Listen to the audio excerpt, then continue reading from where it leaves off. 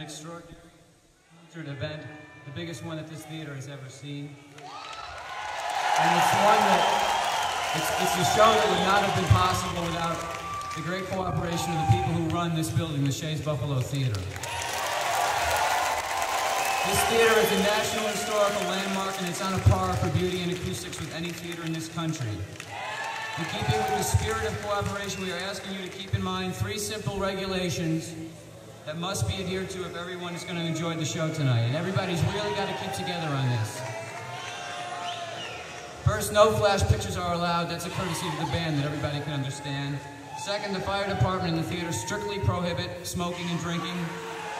And finally, and this is the most important, standing on the chairs will cause the show to be stopped. And we're not, we're very serious about this. You can't stand on your chairs. There's, this place is so small and so great and nobody needs to stand up on their chairs. Everybody can sit and sit and have a good time. These things must be kept in mind for the enjoyment and safety of everybody. We thank you sincerely for your cooperation, because that's the thing that's going to make this show happen, and, and no bad scenes tonight, okay? Everybody keep together. As producers of the show, the Buffalo State Student Union Board would like to thank the Shea's Buffalo Theater and the Grateful Dead for making this a very special evening. Have fun. Grateful Dead will be ready to play in no more than five minutes.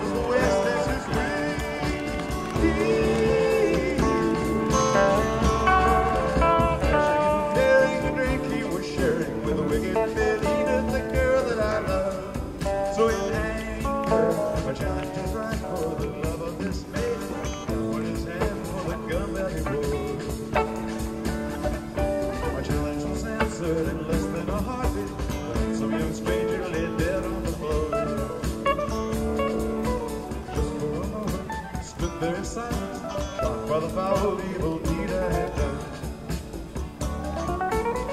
thoughts race through my mind as I slip in. I have emotions, that is too bad.